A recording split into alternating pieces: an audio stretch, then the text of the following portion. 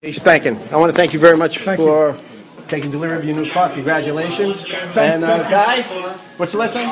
Rudy. Mr. Brody, taking delivery of his new car. Congratulations, sir.